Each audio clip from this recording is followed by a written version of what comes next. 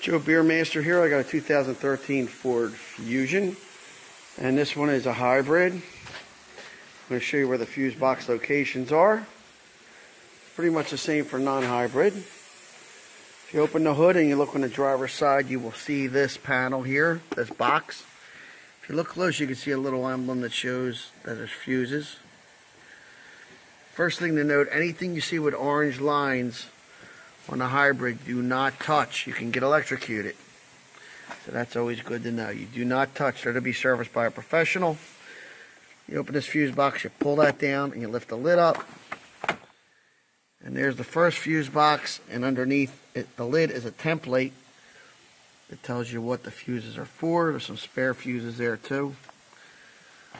So we're going to close that up. And I want to show you where the interior fuse box is. Going on the driver's side. The interior fuse box is left of the driver's steering wheel behind this panel here. Now you don't want to pull this panel from the top. You want to pull it from the inside. It's better because you can pull the panel apart. Pull it. And same thing with the other side. But I'm not going to take the whole panel off. If you look way inside there, you can see a fuse box. So once you get this whole panel down, continue to pull the rest of it out. You'll be able to access it, but I just wanted to show where it was at.